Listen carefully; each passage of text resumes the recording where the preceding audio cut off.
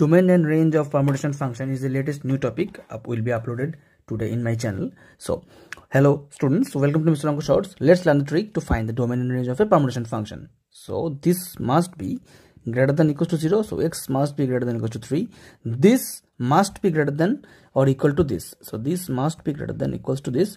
So twice of x is less than equals to 10 so x is less than equals to 5 and this must be greater than 0 not equals to 0 so x is less than 7 so equating these three parts we got x is greater than equals to 3 and less than equals to 5 and x must be a real positive number and integer obviously. So x is just 3 4 and 5 this is the domain of the function. If we put 3 here it will be 4 p0 now we put 4 here it will be 3p1 and if we put 5 here it will be 2p2 so the range will be 4p0 is 1 for 3p1 is 3 and 2p2 is